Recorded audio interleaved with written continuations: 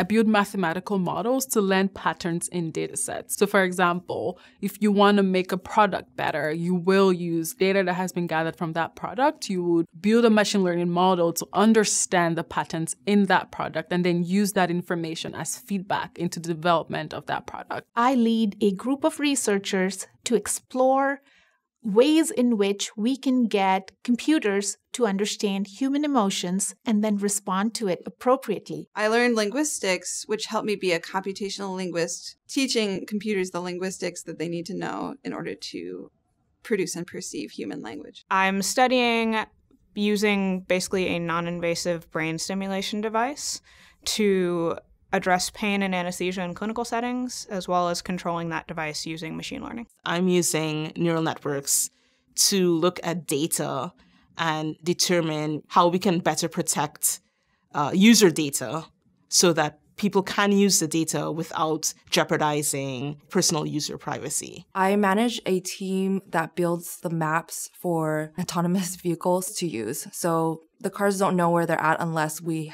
provide the maps for them. So that's what my team does.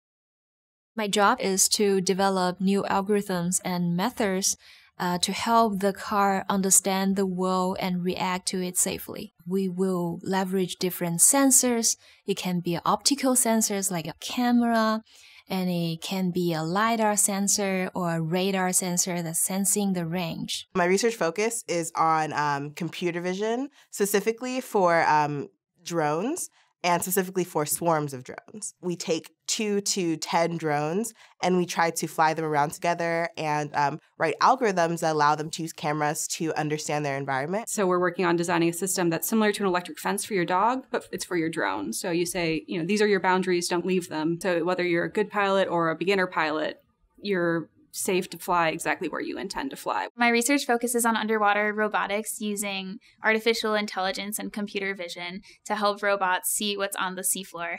The end goal of my work is to build high resolution 3D models of underwater scenes, and this will help scientists do their work in marine biology or marine archaeology. I work in robotics. I also work in education, and I also work in anthropology. So I build robots that help teach children and I think about the ways that technology impacts society, especially societies and cultures that are very different. We're making self driving cars. Running a typical user study, it first begins by inviting someone from outside our company to sit in, for example, our motion simulator or sit in actually one of our autonomous test vehicles.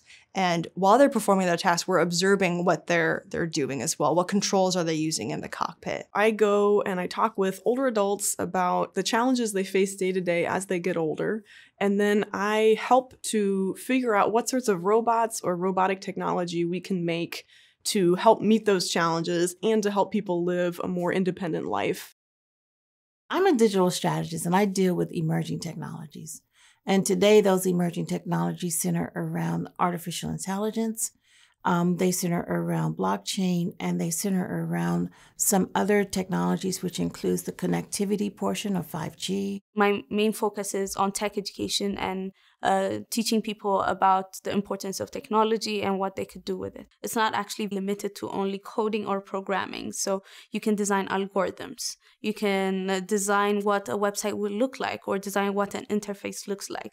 There is a very diverse way you can be involved in tech, but not only as a career, but also in everything that you do. Either you're a doctor, a lawyer, there are going to be tools that you're going to use that use coding or programming. So being able to use those things and actually being smarter than the machines that you're using would actually help you excel in whatever you're doing.